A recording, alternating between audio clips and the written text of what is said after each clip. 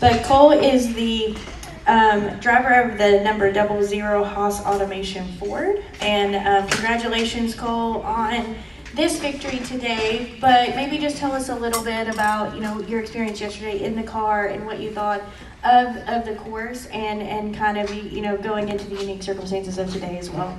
No, yeah, I mean it's it's been an awesome weekend overall. Just the whole event, I mean the whole thing that NASCAR's put on here and the whole city has been pretty unreal. I mean I think everybody was a little bit skeptical going in and all the drivers, but the course is such a blast to drive. I mean there's definitely passing zones out there, but it's such a risk versus reward as a driver. You know, you can push it out there and run fast laps, but you're going to be on the edge of wrecking. So it's it's definitely a, a, blast to drive and puts it in the driver's hands a little bit. But um, today, I mean, we definitely wish we could have run, run all the laps. I mean, it sucks that we, you know, we don't want to win it this way, but at the end of the day, we had a really fast car. Um, I think everybody knew that. So um, I think this team can compete with anybody out there, um, and we're really hitting our stride. And I'm really proud of everybody at JT and all the guys at the shop who have worked so hard to put us in this situation. All right, we'll now go to questions for Cole. If you have a question, raise your hand. We'll work to get a microphone to you. We'll start up front with Bob and then move to Lee. Go ahead, Bob. Uh, Bob Pockrass for Fox Sports. I don't know, did you get a chance to look at any areas of the track? Do you have any idea like how far? I mean, was there any possibility you felt of you all getting out on there?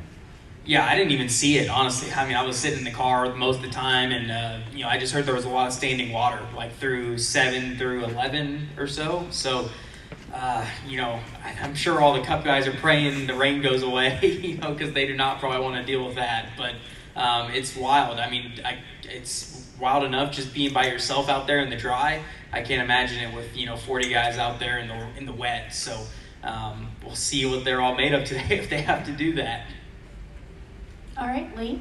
Spencer Catchfence, what do you say to the fans that you know came and really wanted to experience the Xfinity race, wanted to experience the concerts? Honestly, it was pretty surreal. I mean, the first on the pace laps, we rolled off pit road and you could hear them cheering like from the stands in turns uh, between one and two and like I've never experienced that. I don't think anywhere at any other racetrack. You know, like they were just screaming and yelling. You could hear them, and it was it was pretty awesome. So and, and the stands for Xfinity race were packed.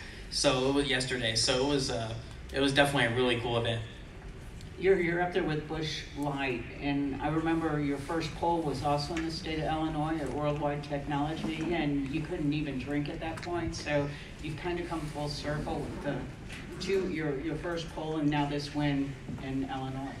Yeah, I mean it's awesome. I mean, uh, you know, we got to do the Stone Cold thing. We're gonna do this that after this, I think.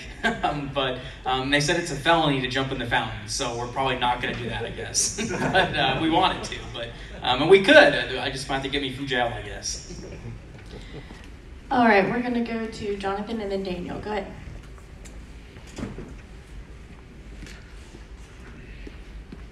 Thank you uh, John DeFiel, the racing experts. Uh, Cole, what was your impression of the track as you got running there?